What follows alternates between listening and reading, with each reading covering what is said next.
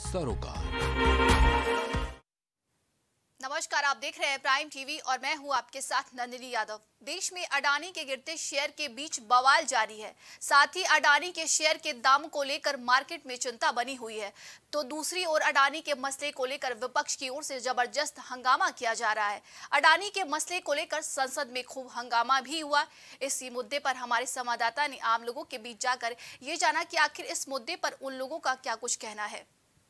Hindenburg की report आने के बाद देश के मशहूर उद्योगपति गौतम अडानी के शेयर में लगातार गिरावट देखने को मिल रहा है। वहीं अगर बात की जाए तो आज कांग्रेस पार्टी अडानी के खिलाफ एक देशव्यापी प्रदर्शन की, जिसमें साफ़ तौर पे उनका आरोप है कि देश के अंदर में मोनोपोली, यानी कि एकाधिकार पैदा किया जा रहा है। वहीं हम गौतम अडानी के मामले को लेकर आम जनता के बीच पहुँचे हैं कि आम जनता क्या सोचती है अडानी के जो तमाम आजकल मुद्दे चल रहे हैं उसको लेकर। हम इस वक्त राजधानी लखनऊ के प्रमुख चौराहे पे हैं और हमारे साथ आप देख सकते हैं कि दर्जनों में लोग हम इनसे जानेंगे। आप लगातार समाचार पत्रों और टीवी पे देख रहे हैं कि गौतम अडानी को लेकर अगर देखा जाए तो राजनीति कर, की जा रही है। राजनीतिक दल अगर देखें तो आज विरोध प्रदर्शन भी कर रहे हैं। हिडनबर्ग की रिपोर्ट आई जिसके बाद से लगातार शेयर में गिरावट आ रहा है। क्या कहेंगे इसको लेकर? इस चीज़ का कोई मतलब नहीं है। शेयर गिरावट कभी बढ़ते हैं कभी घटते हैं। किसी एक, एक उसका बिजनेसमैन का देश है क्या? ठीक है अडानी डाउन पड़ रहा है देश थोड़ी ना डाउन पड़ेगा देश कवर कर लेगा। पार्टी देशव्यापी प्रदर्शन की है और कह तो रही है कि मार्केट तो में एक अधिकार किया जा रहा है सरकार एक तरफा एक लोगों को आगे बढ़ा रही है। वो तो राजनीतिक राजनीतिक पार्टियाँ हैं राजनीतिक पार्टियाँ के पास क्या कुछ ना कुछ तो चाहिए ना। यही सब करते रहते हैं। वो सब आम बातें हैं। देश एक बिजनेसमैन से नहीं चलता। देश में उस तरह के बहुत सारे बिजनेसमैन हैं। उनसे बड़े बड़े बिजनेसमैन भी हैं ठीक है। चलता है। तो ए, अगर बीते दिनों बात की जाए तो कांग्रेस पार्टी के नेता हैं राहुल गांधी। उनका आरोप था कि सरकार एकाधिकार के तहत सारे जगहों पर चाहे एयरपोर्ट हो चाहे वो माइनिंग हो चाहे वो अगर देखें तो रिफाइनरी हो हर जगह अडानी को आगे प्रमोट कर रही है। इस आरोप पे आप क्या सोचते हैं? अडानी पे क्या है जैसे कि टेंडर निकाला उसमें सबसे पैसा अधिक पैसा अडानी ने लगाया तो अडानी को दे दिया। जो लगाएगा उसको दे देंगे। ये ज़रूरी थोड़ी ना है। वो तो टेंडर प्रक्रिया होती है सारी चीज़ें होती है उसमें जो सबसे ज़्यादा पैसा हाईएस्ट रहता है उसको दे देते हैं। सरकार को ये चुनिंदा हुआ थोड़ी ना है, इनको देते हैं उनको देते हैं। अडानी के पास ज़्यादा पैसा टेंडर लगा दिया इसलिए उनको दे दिया और कुछ नहीं होता। अच्छा वही कहा जा रहा है अडानी समूह के द्वारा कि जो हिडनबर्ग की रिपोर्ट आई है वो कुटवचित तरीके से आई है छवि गिराने को लेकर।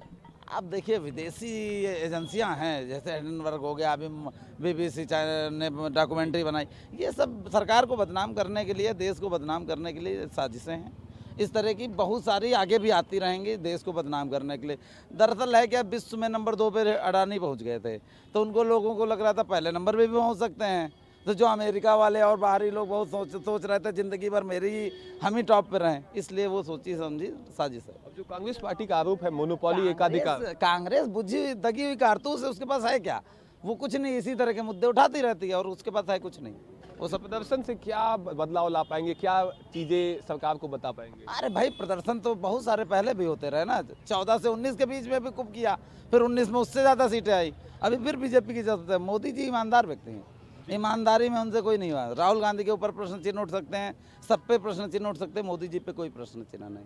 जी आप क्या सोचते हैं इस बयान को लेकर? सर ये जो भैया ने इसे बोला कि अभी कि इस बारे में इंटरनेशनल शेयर गिरावट आती रहती है ये तो हर एक हर एक कंपनी के साथ ऐसा होता है। ये नहीं कि इन्हीं के साथ प्रॉपर हुआ लेकिन उन पर कोई गौर नहीं करता इनका नाम उछाला जा रहा है केवल बदनाम करने की कोशिश की जा रही है।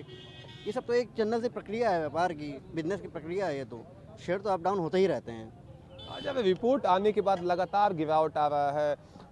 सर, जिस प्रकार से रिपोर्ट देखिए, आ जाती है तो और जो लोग इन्वेस्टमेंट करते हैं उसमें तो थोड़ा तो इंसान सोचता ही है कि अपना पैसा वापस निकाल लिया जाए तो इस वजह से है, बाकी वो आगे पीछे शेयर अप डाउन तो होते ही रहते हैं चाहे वो किसी कंपनी के क्यों ना हो। अब जो कांग्रेस पार्टी की तरफ़ से लगातार आरोप लगाया जा रहा है कि एक ही व्यक्ति को सारी जगहों पर जगह दिया जा रहा है इस आरोप पे आप क्या सोचते हैं? इस आरोप पे एक जग- एक व्यक्ति को नहीं जैसे कि अभी भैया ने बोला भी आपको कि टेंडर प्रक्रिया के तहत होता है ये सब किसी को उठा के नहीं दे दिया कि इनके नाम मैंने पट्टा कर दिया इनको नाम लिखवा दिया। टेंडर डालिए टेंडर जिसका हो जाएगा उसको मिल जाएगा वो तो कोई भी डाल सकता है स्वतंत्र है हर आदमी। जी, बिल्कुल। तो हम कुछ और लोगों से बात करेंगे। उनके विचार जानेंगे कि उनका क्या कहना है। हाल फ़िलहाल में आप लगातार अडानी के मामले को देख रहे होंगे। कहा जा रहा है कि शेयर में गिरावट आ रहा है। कांग्रेस पार्टी आज एक प्रदर्शन की और कह रही है कि मार्केट में मोनोपोली क्रिएट किया जा रहा है। यानी कि एकाधिकार, एक व्यक्ति को हर चीज़ों पर अधिकार दिया जा रहा है। इस आरोप पे आप क्या सोचते हैं? देखिए, अगर कांग्रेस पार्टी कुछ कह रही है तो निराधार तो कह नहीं रही होगी।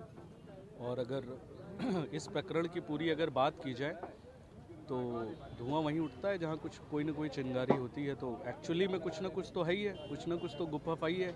अदरवाइज़ जो दो नंबर पे विश्व में अपनी स्थिति रखते थे, अडानी साहब, आज वो सत्रह अठारह, और मुझे लग रहा है ये पाँच सात दिन पहले की बात है, आज तो मुझे लग रहा है टॉप ट्वेंटी में भी नहीं है। और जो हिंडनबर्ग की रिपोर्ट आई है, उस रिपोर्ट के अकॉर्डिंग तो कुछ ना कुछ तो काला समझ में आ ही रहा है। अब ये तो अब ये विस्फोट हुआ है, अब ये जब तक इसकी पूर्णतः जाँच नहीं होगी, तब तक इसके बारे में कुछ कह पाना। लेकिन अगर प्रथम दृष्टया अगर आप देखें पहली कंडीशन में तो मुझे लगता है कि कुछ ना कुछ तो है ही है मामला वहाँ पर, कुछ ना कुछ तो होगा ही उसके अंदर। और इसकी जाँच की जाए, पूरी तरीके से बहुत बड़ा मुद्दा है ये। आम आदमी का एलआईसी का एसबीआई का पूरा स्टेक लगा हुआ है लोगों का ट्रस्ट डेफिशिएट हो रहा है उसके ऊपर से। इसको लेकर आज कांग्रेस पार्टी प्रदर्शन की है देशव्यापी प्रदर्शन था।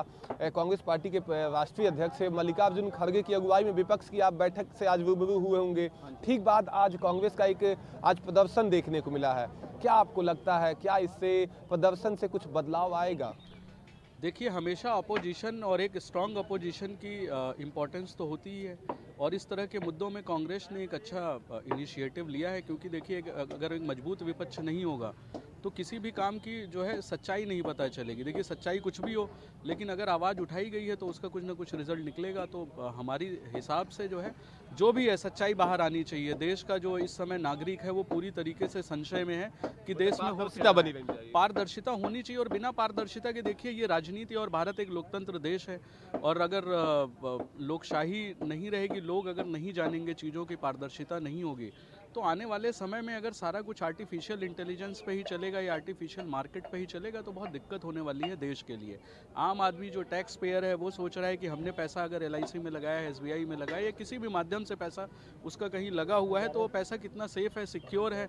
और अगर इस तरह की मोनोपोली है, जैसा अगर कांग्रेस जिस हिसाब से भाजपा के ऊपर इल्ज़ाम लगा रही है या जो दोषारोपण कर रही है तो उसकी जाँच होनी चाहिए कुल मिलाकर, और निष्पक्ष जाँच होनी चाहिए। देश की अस्मिता का सवाल है, देश की इज़्ज़त का सवाल है, पूरे विश्व स्तरीय न्यूज़पेपर्स में मुझे नहीं लगता इंडिया के अंदर बहुत ज़्यादा नहीं है, लेकिन अगर आप विदेशों के न्यूज़पेपर में देखें तो बहुत बड़ा एक सब्जेक्ट है, बहुत बड़ा विषय है, सुर्खियों में है, क्योंकि रातों रात इस तरह का एक न्यूज़ बन जाना तो ये देखिए कोई प्लान्ड न्यूज़ तो है नहीं कि किसी को इसका व्यक्तिगत फ़ायदा होगा, या कांग्रेस का, को इसका व्यक्तिगत फ़ायदा होगा। कांग्रेस ने इनिशिएटिव लिया है, बाकी सारे विपक्ष को भी इसका इनिशिएटिव लेना चाहिए।